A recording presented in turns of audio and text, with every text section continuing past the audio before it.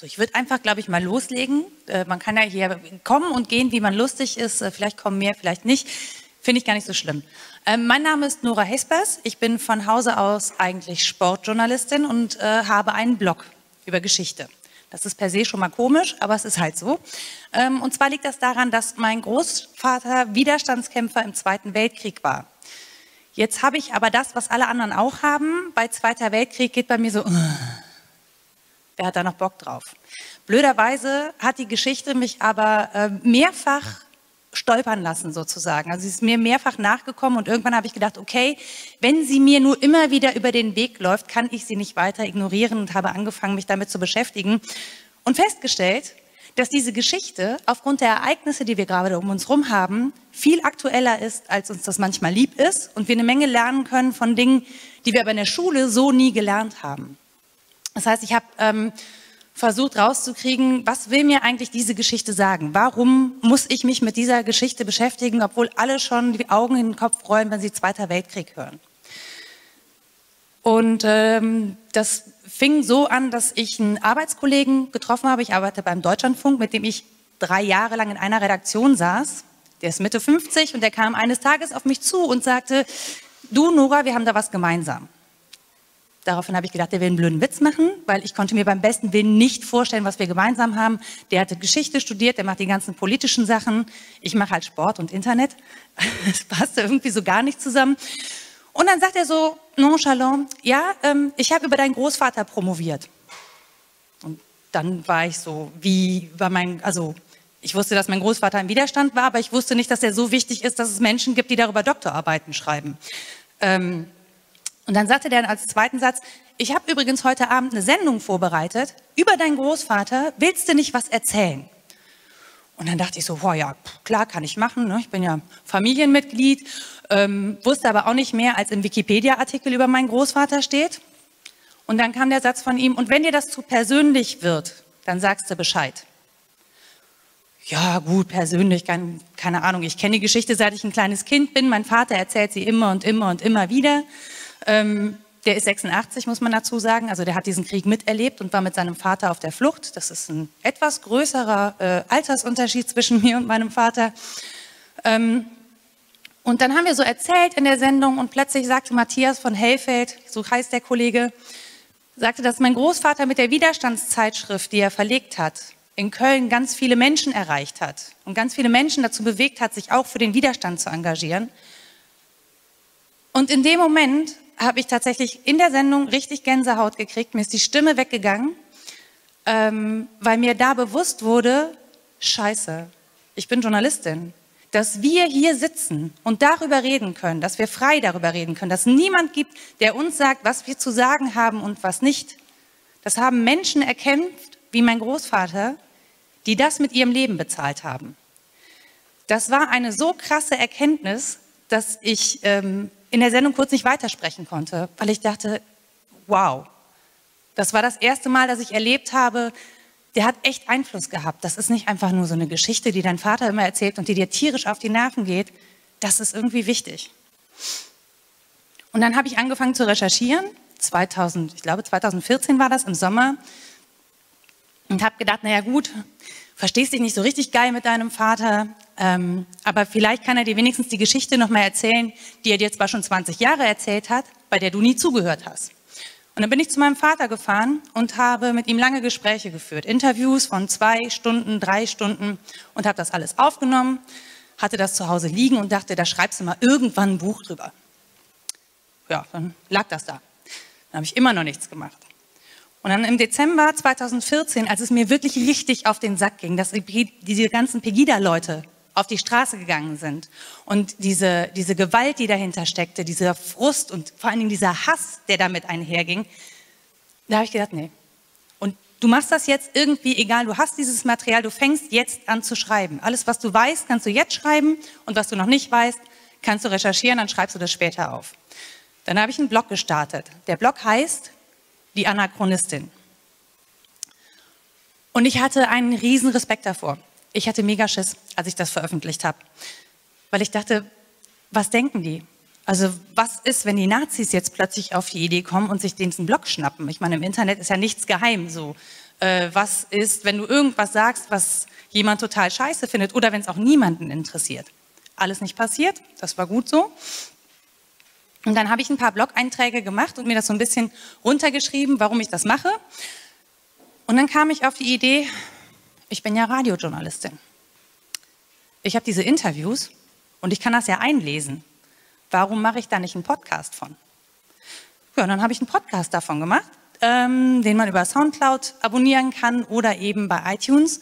Und das Besondere an diesem Podcast ist, im Blog zitiere ich meinen Vater im Text. In diesem Podcast lasse ich meinen Vater selber sprechen. Mein Vater ist eine Type, kann man, dem kann man, das ist kein 86-jähriger Tattergreis, der irgendwie keine drei Sätze gegen, gerade aussprechen kann. Der macht das schon, der performt da. Und der erzählt auch sehr drastisch, muss man sagen. Und dann habe ich diesen Podcast angefangen und wusste auch da noch nicht, was ich getan habe, bis ich auf der Republika war und jemand auf mich zukam und meinte, du hast übrigens das erste deutsche Serial im, Non-Fiction-Format veröffentlicht. Dann dachte ich so, aha, gut, ja, was... ja, das klingt total bescheuert. Ich habe einen Podcast gemacht und wusste einfach gar nicht, was ich da mache. Ich habe halt die Technik aus meinem Job genommen als Hörfunkjournalistin und habe die auf meinen Blog angewendet und habe plötzlich was gemacht, was es in der Form nicht gab. Woher soll ich das denn wissen? Ich habe mich ja nicht damit beschäftigt. Muss ich zu meiner Schande gestehen. Das ist aber leider genauso passiert. Ähm, warum ich das total wichtig finde, das genauso zu machen, wie ich das da mache äh, und nicht nur das nur lesen zu lassen. Ein Beispiel habe ich bei Viel Stoff, wenig Schlaf gefunden. Das ist ein Blog, in dem ich so ein bisschen aufarbeite, wie es mir eigentlich damit geht, wenn mein Vater mir solche Geschichten erzählt und wenn ich Sachen recherchiere. Und ähm, da gibt es einen Ausschnitt, da erzählt er über eine Frau, eine Jüdin, die mit meinem Großvater zusammen diese Widerstandszeitschriften überhaupt erst hergestellt hat in den Niederlanden. Also die waren im niederländischen Exil und die hat ein äh, Schreibbüro gehabt. Das heißt, da wurden Sachen kopiert, übersetzt, vervielfältigt und auch in Druck gegeben. Und die hat meinem Großvater maßgeblich geholfen und ist aber auch beim Westfeldzug, also beim Einmarsch der Nazis nach Holland und Belgien 1940 im Mai verhaftet worden. Die wurde nach ähm, Berlin gebracht, ins Gestapo-Geheimgefängnis in der heute Niederkirchner Straße, damals Prinz Albrecht Allee, Albert? Prinz Albert Allee, genau. Und ähm, wurde da gefangen gehalten. So, das ist das, was mein Vater erzählt. Und ich gebe euch jetzt einfach mal zwei Minuten oder ihr meldet euch, wenn ihr es fertig gelesen habt, wenn man es liest. Könnt ihr ihr könnt es nicht lesen? Sonst kommt doch gerne ein bisschen näher nach vorne. Richtig.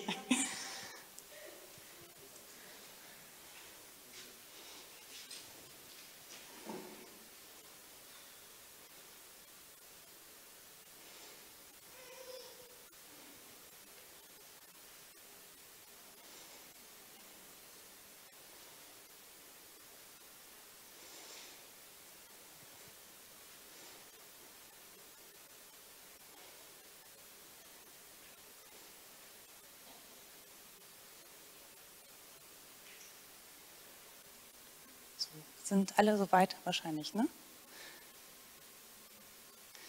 So, das ist, wenn man das liest. Wenn man das hört, klingt das ein bisschen anders. Dann zeigt mein Vater auf die Bilder von zwei Frauen. Die eine ist Antonia Verhagen, genannt Genau, Toos. das ist die. Äh, Toos Verhagen. Die ist aber, also hässlich ist die nicht. Hässlich ist die schon hübsch. Die ist ein bisschen. Ihren Namen kenne ich ganz gut. Mein Vater hat sie relativ oft erwähnt. Die andere Frau kenne ich nicht. Ihr Name ist Sarah Kato Meyer, genannt Selma. Das ist auch eine Jüdin. Die hat Selma. ihr äh, Selma Kattomeyer, die hat ihr ganzes Büro kostenlos zur Verfügung gestellt, hat dafür gesorgt, dass die ganzen Kameradschaften, die Widerstandszeitschriften ähm, sozusagen verschickt wurden. Ne? Diese Selma Kattomeyer, die wollte erst flüchten, aber ihre Mutter war todkrank, ist zu Hause geblieben, weil ist sie verhaftet worden. Dann hat man sie in Gestapohaft, äh, hat man sie äh, äh, ge gebracht. Und ich weiß genau, wie das zu Tode gekommen ist. Es hieß denn, die werden an Lungenentzündung werden zugrunde gegangen und werden in Berlin-Weißen sie beerdigt, ne? Im jüdischen Friedhof. Das folgendermaßen. Die hat man totgeschlagen Zellen. Ja. Hat eine Freundin von der Verhagen war auch inhaftiert. Die hat nur überlebt, weil die auf dem Bauch geschlafen hat. Und dann war die nur gelähmt nach dem Krieg. Die anderen Man machte folgendes. Man ging nachts in die Zellen rein, maskiert, und schlug die Frauen so lange auf den Unterleib, bis sie an inneren Blutungen zugrunde gingen. Die Männer, vielleicht waren auch Frauen dabei, haben ihr nachts im Schlaf den Unterleib buchstäblich zu Brei geschlagen. Die Frauen sind danach qualvoll an ihren inneren Verletzungen gestorben. Es sind Geschichten wie diese, die mich gerade nachts nicht schlafen lassen. Mir ist es unbegreiflich, dass Menschen einander so etwas antun. Es ist feige und krank. So. Das passiert, wenn man das hört und dummerweise passiert mir das auch selber die ganze Zeit. Ähm, ich muss mich halt mit diesem Thema und diesem Stoff auseinandersetzen und ich stehe, ich kenne diese Passage und selbst ich stehe da und denke jedes Mal, fuck, ey, das kann alles nicht wahr sein, das kann nicht gewesen sein. Und deswegen ist es eine Sache, einen Text zu schreiben und eine ganz andere Sache, ihn hörbar zu machen. Wenn ich das schreibe und wenn ich dem, wenn man das liest, dann kann man schnell Abstand gewinnen. Dann kann man das schnell, ah ja, okay, das ist schwarz-weiß, ich, ich sehe das nicht, beschäftige mich damit nicht weiter, dann ist es weg wenn ich das höre und eine Emotion auch dazu höre oder höre, wie sich jemand damit auseinandersetzt, dann macht das auch mit mir was. Ich bin ja dann vielleicht sogar im Ohr desjenigen, weil der das über Kopfhörer hört oder was auch immer. Ähm, und ich finde, das hat nochmal eine andere Wirkung. Trotzdem möchte ich jedem selber überlassen, ob er das lieber lesen möchte und den Abstand braucht oder ob er das lieber hören möchte. Und deswegen gibt es das in zwei Versionen, als Blog und als Podcast. Und da kann sich jeder halt aussuchen, welche Version er davon haben will. Das ist auch nicht alles, also es sind nicht nur solche Szenen darin. Ne? Also es ist auch so, dass mein Vater, wenn er Geschichten erzählt, auch mal darüber lacht. Das sind Geschichten, wenn man die liest, dann wirken die total schwer. Und wenn man hört, wie mein Vater eigentlich mit einer Leichtigkeit darüber erzählt, bekommt das wieder eine andere Deutungsebene, weil man merkt, ah, okay, da ist jemand, der hat so einen Krieg überlebt und der denkt sich heute, pff, naja, warum soll ich Angst haben? Also sterben können hätte ich schon sehr häufig und ich bin jetzt 86 Jahre alt. Was soll das? Ähm, das, das bringt einfach nochmal eine andere Deutungsebene da rein. Und was ich auch versuche, ist, diese Geschichte, die ja so schwarz-weiß ist und total nervig und alle schon tausendmal gehört haben, so zu transportieren, dass man sie hören möchte, dass man der gut zuhören kann, dass sie in kleinen Häppchen präsentiert ist, weil einfach Geschichten erzählt werden und eben nicht Daten und Fakten. So, das Ding ist ja, ja, Kriegsende. Oder ich weiß ein Datum wie ne, 10. Mai 1940, Westfeldzug. Was stelle ich mir darunter vor? Das habe ich mal in der Schule gelernt, dann weiß ich, okay, die sind da rein, die haben das und das besetzt und so. Mein Vater erzählt dann, wie er an diesem Morgen von seinem Vater aus dem Bett geholt worden ist. Wie er im Radio den niederländischen König hat sagen hören, dass sie ähm, überfallen worden sind, dass deutsche Fallschirmjäger gelandet sind und, und, und. Wenn er mir sowas erzählt, bekommt so, so ein Datum eine ganz andere Dimension. Dann ist so, eine, so ein Datum einfach real. Und dann ähm, kann ich mir da auch was drunter vorstellen. Also dann habe ich eine Geschichte und eine Vorstellung dazu, wie denn sowas abläuft, wenn das passiert. Und das ist auch nur eine von ganz, ganz vielen Geschichten. Aber dadurch, dass ich sie mit einer Emotion verbinden kann, ähm, habe ich einen ganz anderen Bezug zu Geschichte und zu Geschichten. So, und dadurch, dass mein Vater sie erzählt und ich sie erzähle, ist es auch keine alte Geschichte. Weil ich habe irgendwann gemerkt, es ist ja schön, dass es ein Datum gibt, das Kriegsende heißt. Aber mein Vater, der jetzt 86 Jahre alt ist, ist einfach schwer kriegstraumatisiert. Und ich bin mit einem kriegstraumatisierten Vater aufgewachsen. Ich bin auch mit einem geflüchteten Vater aufgewachsen. Das heißt, in dem Moment, wo ich erlebe, wie hier mit Geflüchteten umgegangen wird, im positiven wie aber auch im sehr negativen Sinne häufig, habe ich da einen ganz persönlichen Bezug zu. Weil mein Vater mir erzählt hat, wie das war auf der Flucht wie weil er mir erzählt hat, wie es war, als Deutsche an holländische und niederländische Türen klopfen zu müssen und zu sagen, Entschuldigung, können wir hier übernachten? Und das ist halt, ähm, das, das macht einen riesen Unterschied für mich. Das macht einen riesen Unterschied für mich, ob ich empathisch mit so einer Geschichte umgehen kann oder nicht und ob ich zum Beispiel das Gefühl habe, dass ich helfen muss oder nicht. Oder ob ich überhaupt helfen kann, was ich helfen kann. Ähm, und was ich natürlich auch erlebe, ist, dass das, was mein Vater erlebt hat, in mir was ausgelöst hat. Weil was heißt das denn, wenn man von klein auf groß wird mit einem Vater, der sagt, dein Opa war ein toller Typ, das war ein Riesenheld, ja, der hat hier gekämpft für unsere Freiheit und so. Und die Nazis haben ihn umgebracht, weil er veröffentlicht hat. Ich bin Journalistin, ich veröffentliche. Ja, da steht mein Name drunter. Und das erste Mal, dass ich wirklich gemerkt habe, dass ich da ein richtiges Problem mit habe, war, als ich für WDR 2 als Social Media Reporterin on Air musste. Wir reden nicht über Politik, wir reden über Fußball. Aber beim Fußball wissen wir, ich bin eine Frau, die über Fußball redet. Und wenn ich etwas Falsches sage, ähm, dann gibt es entsprechende Reaktionen darauf. So, das ist was, wo man durchaus Respekt vorhaben kann. Aber ich hatte nicht nur Respekt, ich hatte richtig Angst.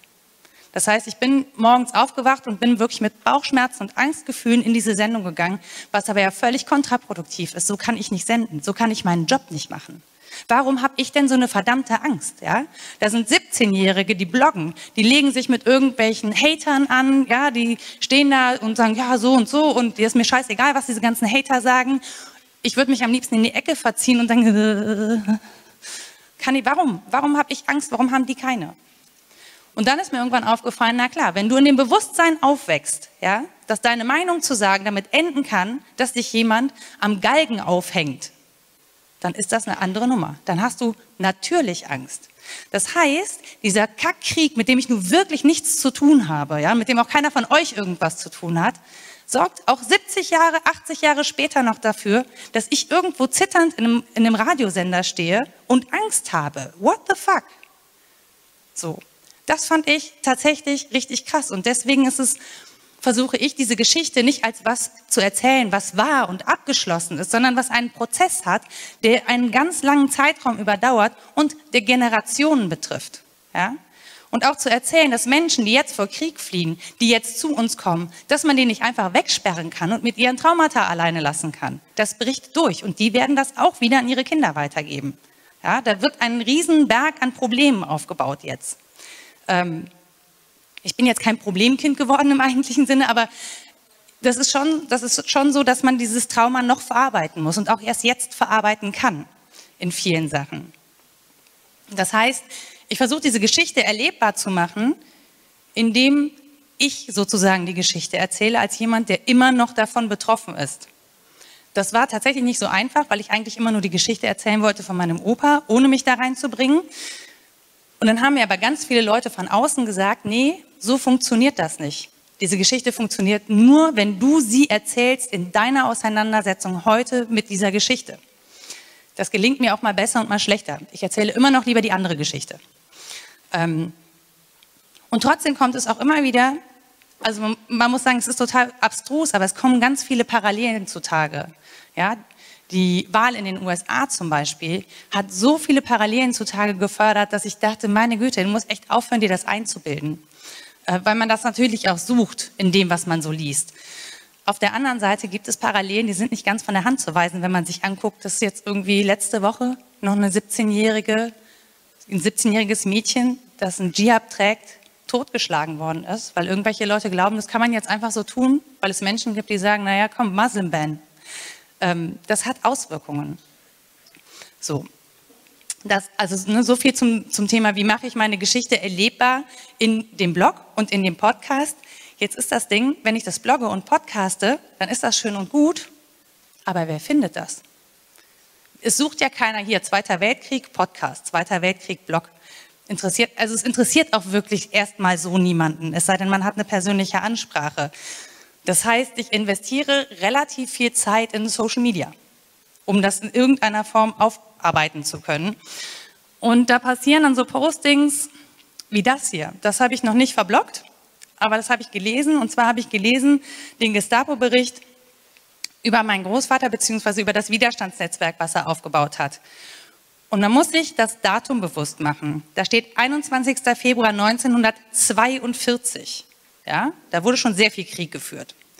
Und dann steht in diesem Bericht über die Widerstandszeitschrift, der Inhalt kritisiert in hetzerischer Form die Maßnahmen des nationalsozialistischen Staates in innen- und außenpolitischer Hinsicht, wobei in erster Linie immer wieder in unverschämter Form die Behauptung der Gewaltherrschaft und die Vorbereitung des Krieges aufgestellt wird.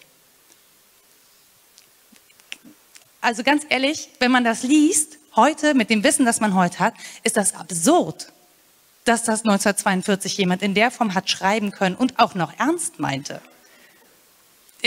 Also mich macht sowas sprachlos, weil ich nicht verstehen kann, ähm, wie man in einer solchen Verblendung an einer besonders hohen Stelle in der Regierung ne, oder was auch immer ähm, so etwas schreibt, um Leute zu verhaften, das finde ich total krass. Und dann überlege ich, okay, das steht nämlich auch in diesen Unterlagen, die haben deinen Großvater für einen Hochverräter gehalten und für einen Terroristen. Moment, wer ist gerade mal aktuell in Haft wegen Hochverrat und Terrorismusunterstützung? Da denkt man gleich an Dennis Yücel. Ja, so. Das heißt, wie weit ist diese Geschichte weg? Diese Geschichte ist halt nicht vorbei. Sie ist aktuell. Sie ist vielleicht nicht hier aktuell, aber irgendwo auf der Welt und gar nicht so weit weg ist diese Geschichte aktuell.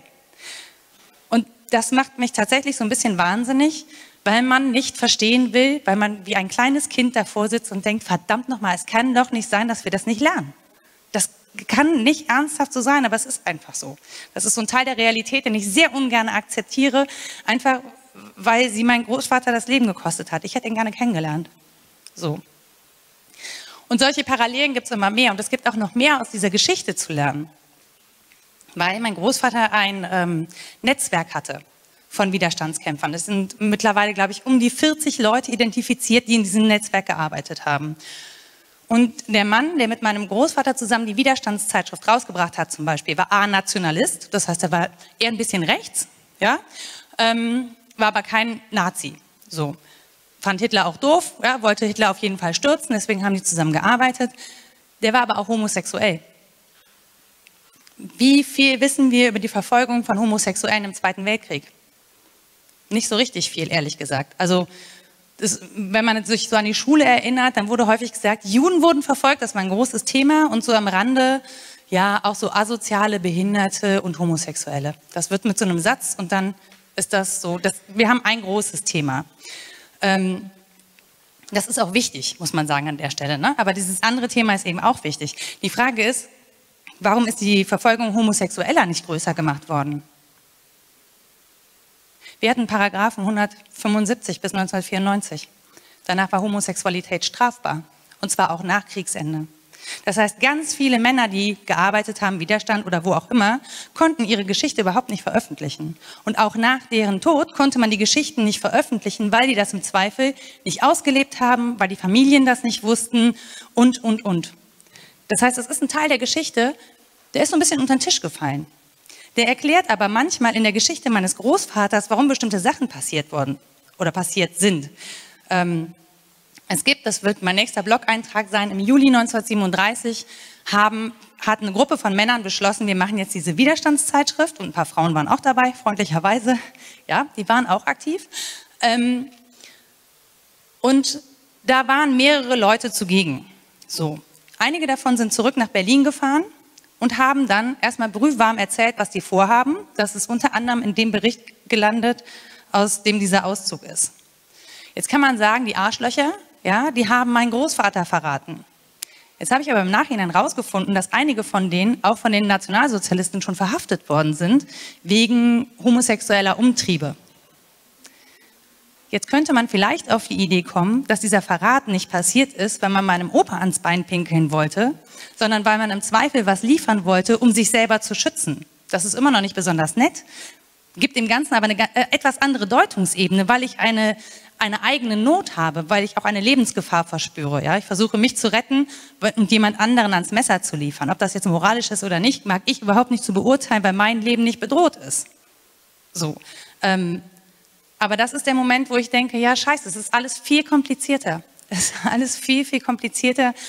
Und das ist auch ein Grund, warum ich diese Geschichte erzählen möchte. Und zwar anders als das, was ich in den Schulbüchern lese. Ähm, so. Das, das gilt übrigens auch für die Frauen, die beteiligt waren. Selma Meyer sagt in einem Verhör, dass sie ähm, verliebt war in diesen ähm, Mann, der mit meinem Großvater die Widerstandszeitschrift rausgebracht hat. Wenn man jetzt aber weiß, dass der homosexuell war und das aber woanders steht, die hätten ein Liebesverhältnis, weiß ich nicht. So. Und es wurde Ihre, ihre Tätigkeit für meinen Großvater und für diesen Mann wurde damit begründet, dass sie einfach sehr verliebt war. Ja, sie hat es aus Liebe getan. Das wäre ein bisschen kurz gegriffen. Die hat nämlich weit vorher auch schon in der Friedensbewegung gearbeitet. Es gab eine Frauenfriedensliga. Das heißt, die hat sich schon weit vorher und ohne den Kontakt zu diesen Männern für Frieden eingesetzt und gegen den Nationalsozialismus. Und in der Geschichtsschreibung dann nachher zu behaupten, naja, die war halt verliebt, deswegen hat die das gemacht, die konnte nichts dafür, finde ich, erzählt ein anderes Bild von einer Frau, die politisch aktiv ist, als das, was da vielleicht wirklich passiert ist. So. Das heißt, was diese Geschichte vielleicht leisten kann, wenn auch nur mit einem kleinen Publikum und einer kleinen Rezeption, ist ähm, diese Geschichte aus, einer, aus einem anderen Blickwinkel zu erzählen. Vielleicht auch, weil wir heute tatsächlich ein bisschen näher dran sind an dem Lebensgefühl der 20er und 30er, als es davor war. Man weiß es nicht. Aber so, also ich versuche wirklich das rauszupitzeln, auch aus der Geschichte, was anders ist und das, was ich in der Schule nicht gelernt habe und worüber ich mir persönlich nie Gedanken gemacht habe im Zusammenhang mit dem Zweiten Weltkrieg. So, und äh, genau. Das kann man halt äh, dann in Auszügen auch auf meinem Instagram-Kanal verfolgen der auch die Anachronistin heißt. Ähm, ich versuche da immer wirklich so in Auszügen ganz aktuelle Bezüge herzustellen. Also das, ne, das eine Zitat habe ich natürlich dann im Zusammenhang mit Dennis Hugel gepostet. Ähm, das hier, genau, das hier habe ich im Zusammenhang mit der Wahl von äh, Donald Trump gepostet.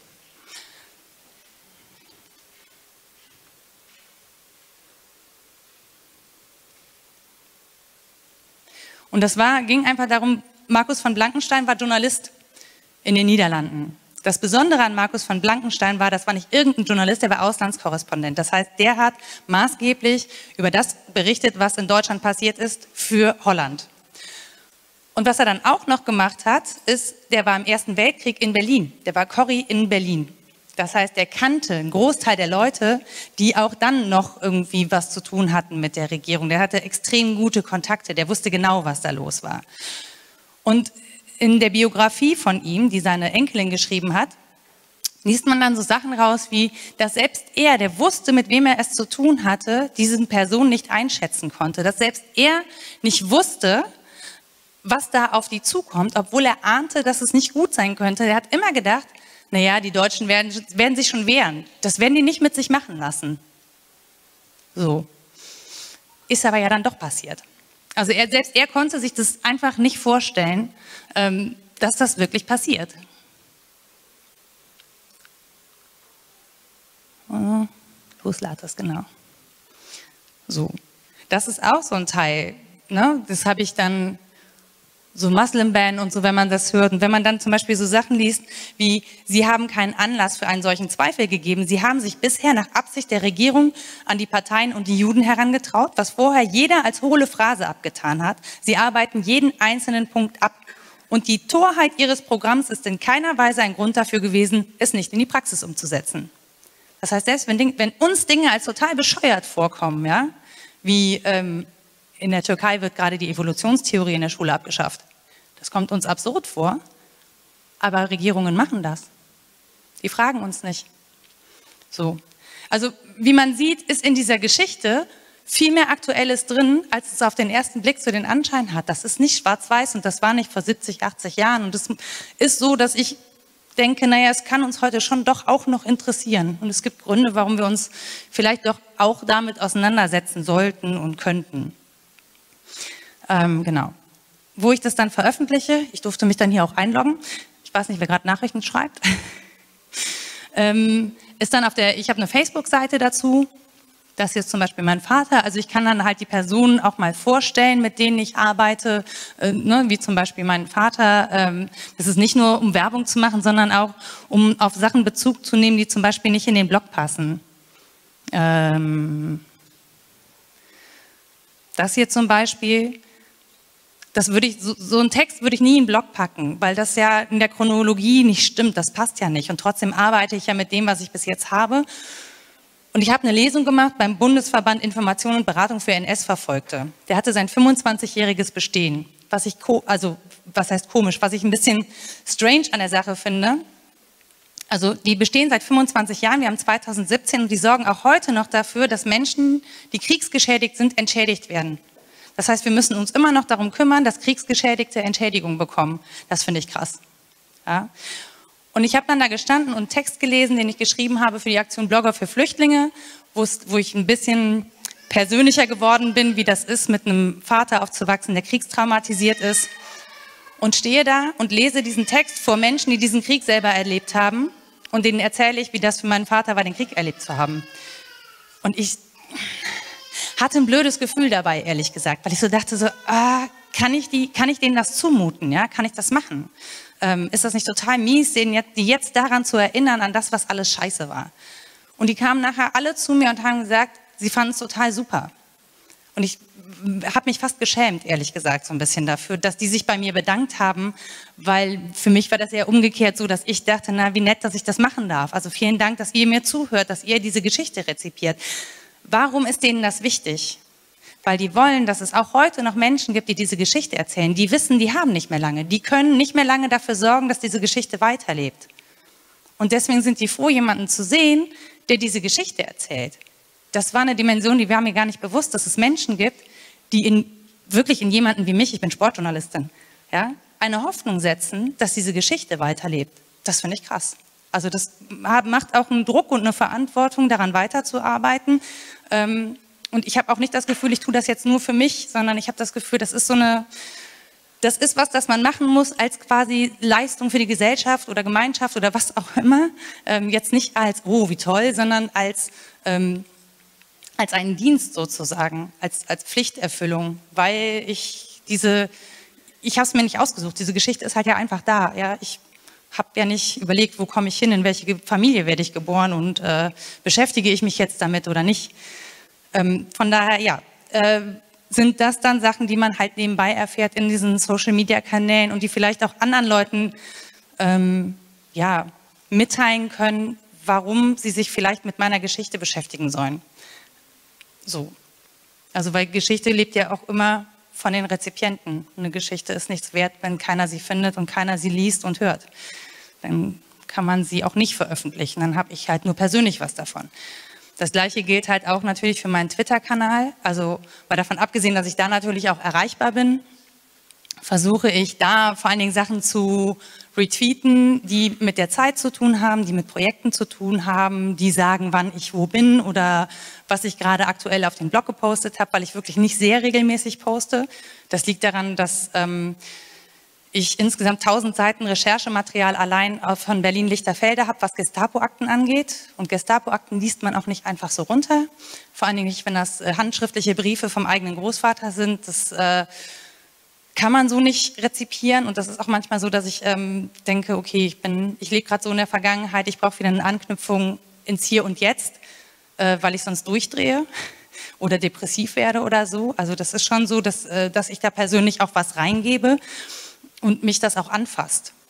Also deswegen, ich, ich weiß, dass wenn ich das erzähle und anderen Leuten erzähle, dass die das auch anfasst, ich mute anderen das zu, weil ich weiß, ich kann das überleben und äh, traue das Gleiche meinem Publikum dann auch zu. Und trotzdem frage ich mich immer, darf man eigentlich statt unterhalten und Leute ähm, zu unterhalten und zum Lachen zu bringen, Leute auch zum Weinen bringen? Ja, was einfach schlicht ja auch passiert. Ähm, so. Ja, das ist das, was ich euch jetzt so grob über diese Geschichte erzählen kann. Hat jemand Fragen? Es gibt sogar ein Mikrofon.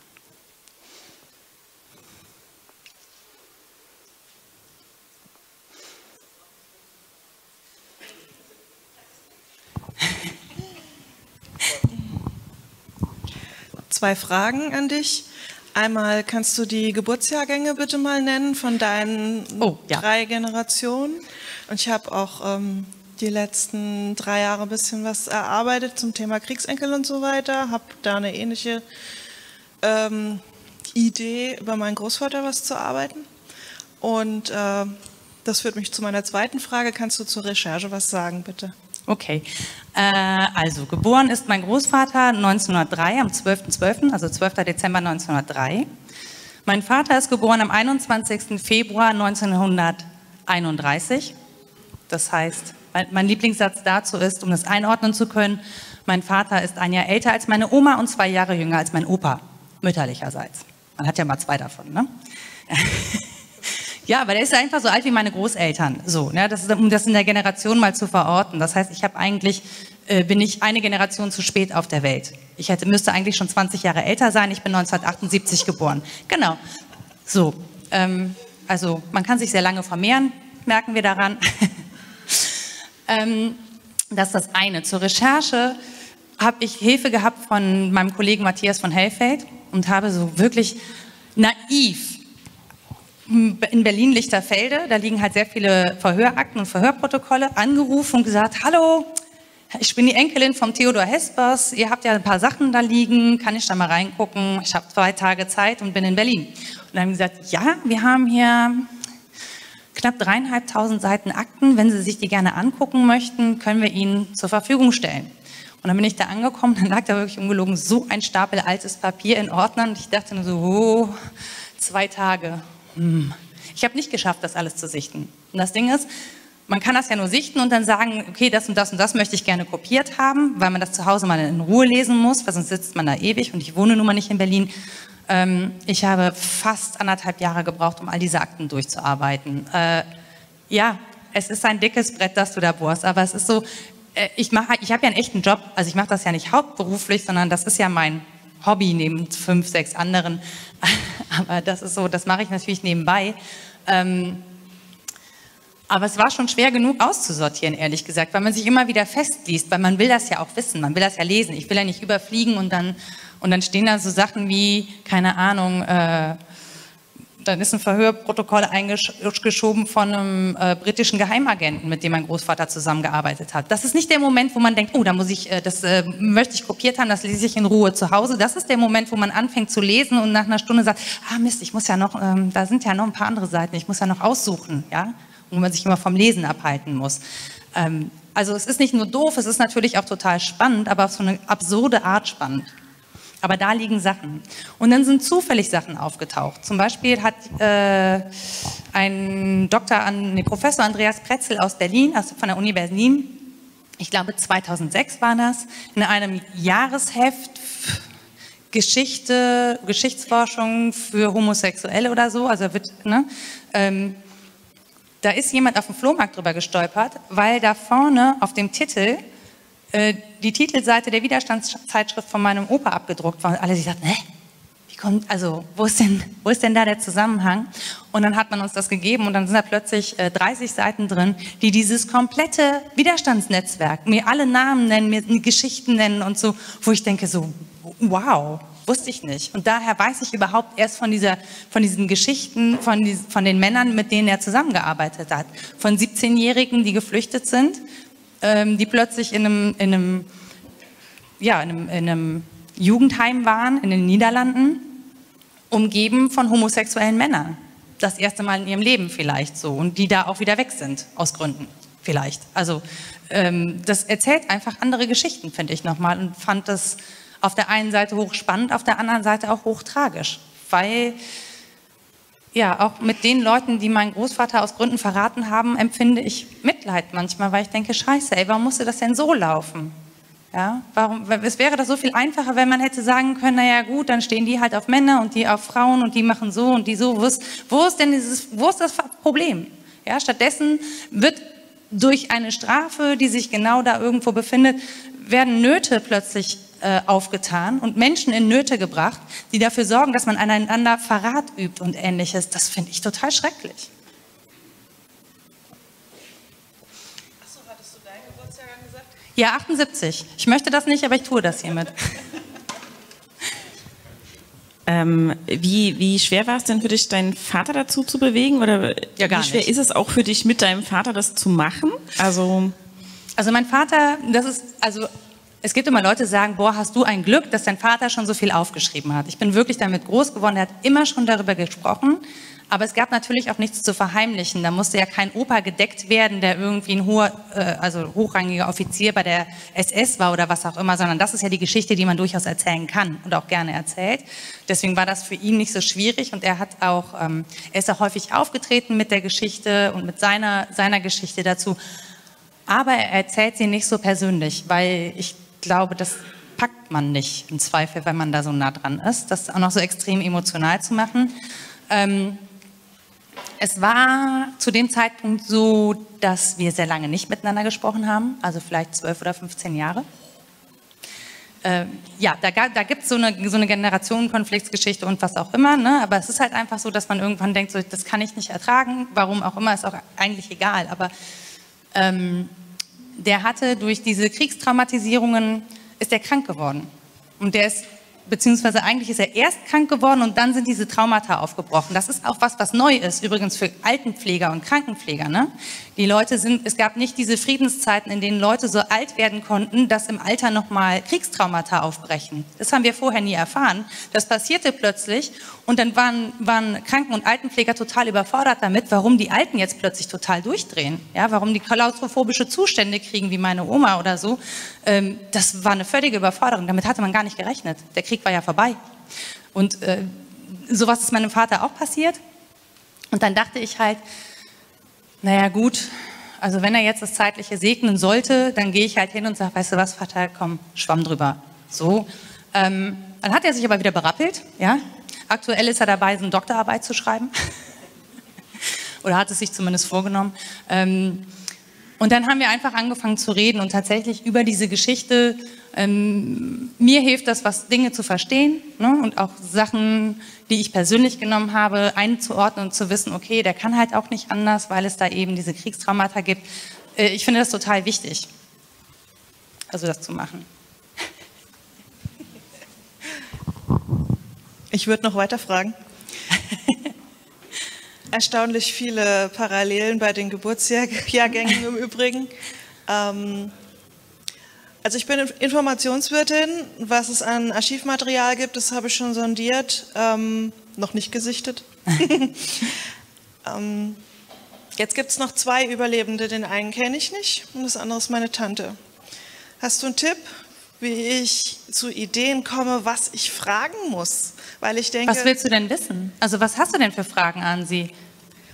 Ich habe auch die Situation, dass ich weder meinen Vater kennengelernt habe, noch meinen Großvater mhm. kennengelernt habe. Und meine Tante ist die Einzige, die da noch von erzählen kann. Ich würde, also ich habe meinen Vater tatsächlich angefangen zu fragen, wer sind denn eigentlich diese ganzen Personen? Ja, auch versucht ihn zu fragen, kannst du meinen Opa beschreiben? Das war ein bisschen naiv zu glauben, dass er noch, also weil er einfach, ne, der war elf, als, sein, als sie seinen Vater umgebracht haben und neun, als er verhaftet wurde. Da hatte der den schon zwei Jahre nicht mehr gesehen. Ähm, das ist ein bisschen schwierig, aber manchmal kriege ich das raus aus den Geschichten, die er erzählt. Also jetzt im letzten Blog, das Kreuz mit dem Kreuz zum Beispiel, erzählt er so ein bisschen, wie sein Vater mit ihm umgegangen ist und daraus kann ich dann so ein bisschen ableiten, was das für ein Typ war. Also dass der zwar auf dem Foto da sehr ernst guckt, ja, aber dass er durchaus auch Sinn für Humor hatte und dass ihm sein Sohn manchmal auch auf den Sack gegangen ist. Das ist etwas sehr Menschliches und sehr Elternmäßiges, wo ich so denke, so ja, so ist das Verhältnis halt zwischen Eltern und Kindern. Das macht das Ganze auch, finde ich, wieder so ein bisschen normal. Also so Alltag. Damit können wir uns identifizieren. Also von daher frag, wer, wie die ausgesehen haben. Du kannst versuchen, da einfach ein Gespräch, wie sah der aus, was hat er gemacht, hatte der eine Macke? Ja, wer, wer war diese Person, dass du dich ein bisschen nähern kannst? Mhm. Und im Zweifel habt ihr dann schon so einen guten Draht zueinander, dass sie von alleine erzählt. Ich versuch's.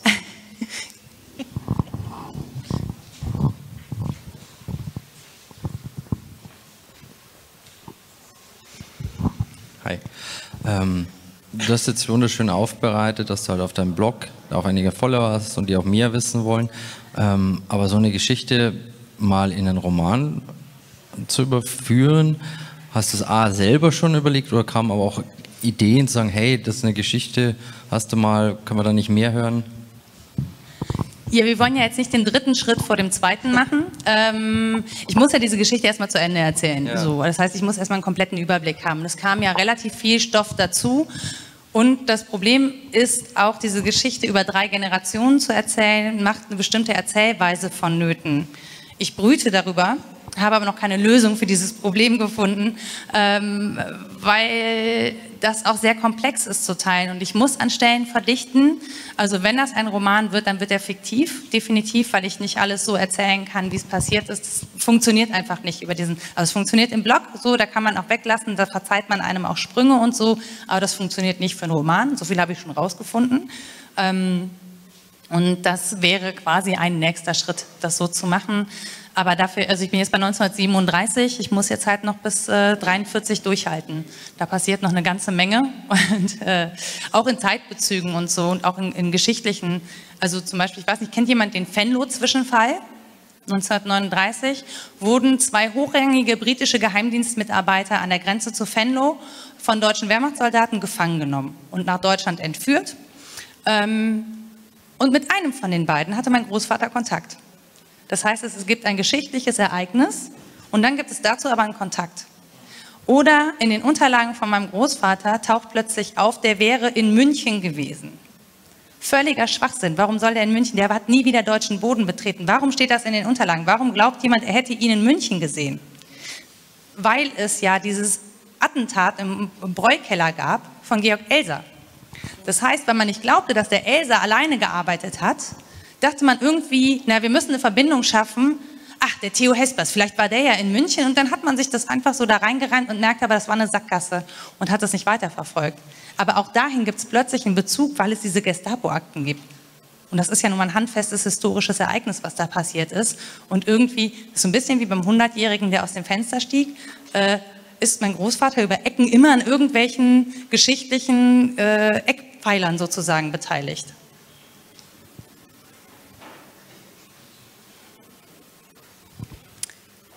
Noch irgendwer eine Frage? Dann äh, bedanke ich mich herzlich fürs Zuhören und äh, freue mich natürlich über mehr Follower und äh, Likes auf, dem, ja, auf den verschiedenen Kanälen, die ich da anbiete. Äh, stellt da auch gerne weiter Fragen. Ich freue mich auch über Kommentare und Anmerkungen, weil man natürlich auch so ein bisschen, also gerade beim Podcast so vor sich hinarbeitet. Die Leute rezipieren das, aber es gibt ja keinen Rückkanal. Den Podcast hat man gehört und dann ist so weg. Ähm, ja, ich freue mich über Anregungen, Kommentare, Anmerkungen oder einfach über ein Hallo, dann weiß ich, dass da Menschen sind, die mir zuhören. Da freue ich mich sehr drüber.